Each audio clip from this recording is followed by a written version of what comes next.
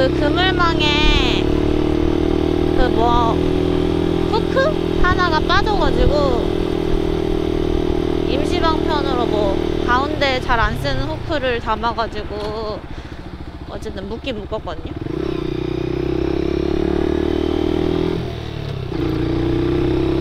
근데 이러니까 CC바를 달고 싶어.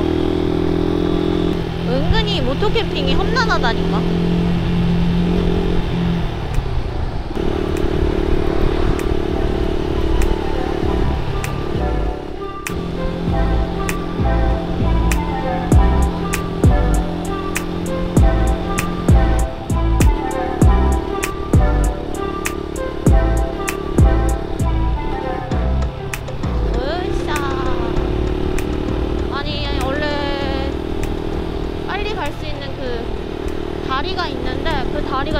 공사 중이어서!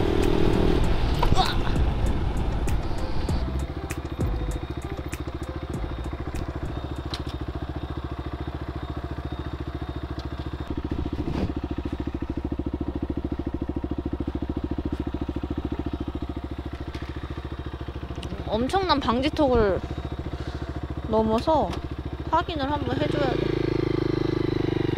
아니 뭐 방지턱을 그따위로 만들어놔. 아무리 임시로 만들어도